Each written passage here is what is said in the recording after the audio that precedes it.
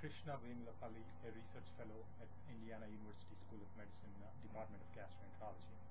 Uh, I am a co-author for a GIE paper this month titled uh, Water Immersion Simplifies Cecal Intubation in Patients with Redundant Colons and Prior Incomplete Colonoscopies. I'm here with the lead author for the paper, Dr. Doug Rex, a Chancellor's Professor at Indiana University. Dr. Rex, water immersion in colonoscopy, can you give some background? Thanks, Krishna. So the idea of water immersion is that rather than filling the colon with gas during the insertion phase, we're going to fill it with water. Gas tends to move the sigmoid colon up into the mid-abdomen when the patient is in a left lateral decubitus position, makes the flexures uh, sharper. Water sinks the sigmoid colon down into the uh, left lower quadrant, the colon stays uh, straighter. As a result of that, as we put the scope in, we stretch the colon less, stretch the mesentery, use up less uh, instrument during insertion, and so there are some benefits that can derive from it. It was described a long time ago, though.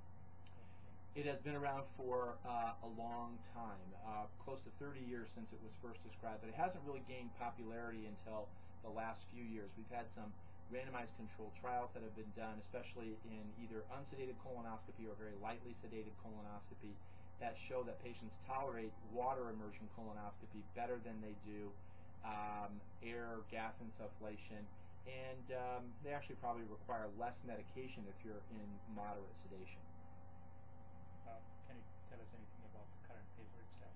So in the current paper, uh, we are looking at a series that we've had going on here for a long time at our center. There have been some previous publications from this, and these are patients who are referred here with a previously incomplete colonoscopy performed either by a gastroenterologist or a surgeon.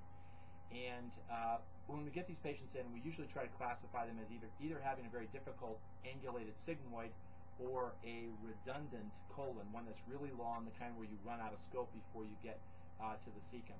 And what we saw was that uh, when we made a transition back in, I think, 2008, we made a transition from where we were routinely using uh, gas insufflation to perform these colonoscopies to routinely using uh, water immersion. And so we're comparing this water immersion era to the historical control era of gas insufflation.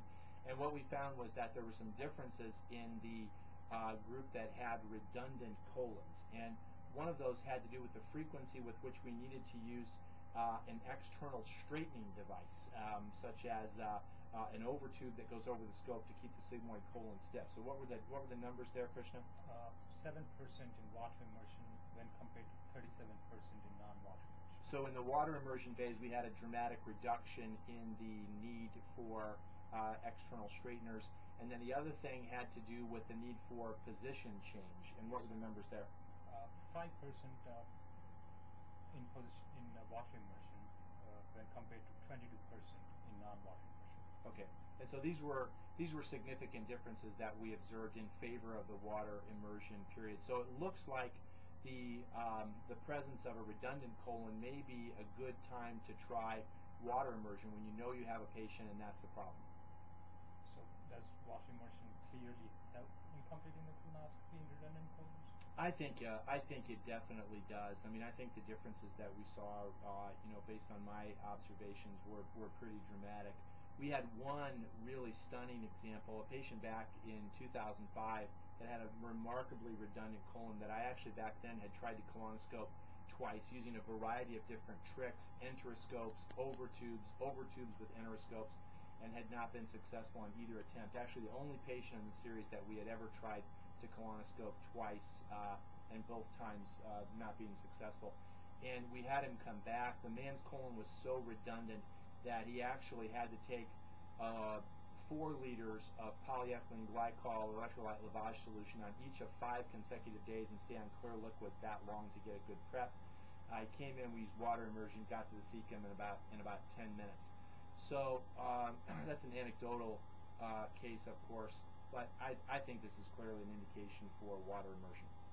Uh, Are there any other advantages for water immersion? Uh, right now, water immersion is being studied for whether or not it could improve polyp detection. I think that it's still too soon to draw conclusions about that. So I think the established uh, indications are when you're doing unsedated colonoscopy when you're doing very lightly sedated colonoscopy, and now I think with a redundant uh, colon it ought to be considered. Uh, some some colonoscopists have already converted uh, their practice entirely to water. Why, do you think it's not the case in other centers? Why, why not use water immersion entirely? Sure, I think for the for the kind of routine uh, uh, patient who's undergoing sedation, that the benefits aren't really clearly established yet. Um, I think that it's a matter of personal preference at this time.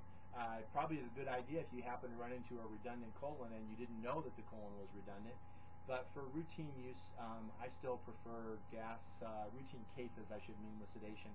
I prefer uh, gas insufflation. I think it's just as fast, if not faster, in those instances to get to the cecum. There's less water uh, to clean out uh, in order to get a good look on withdrawal. And uh, we have very good quality bowel preparations here, so we don't really don't need the water immersion to improve the preparation, which I think is some of the benefit that's been seen in studies claiming that it improves polyp detection. Are there, are there any specific disadvantages using water immersions?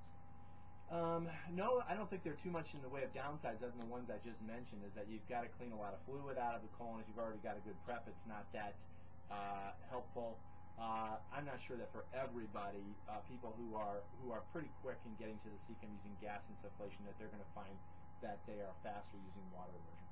Well, thank you so much for your time, Dr. Rex. Thank you. From Indiana University explaining the water immersion paper in gastrointestinal endoscopy. Thank you.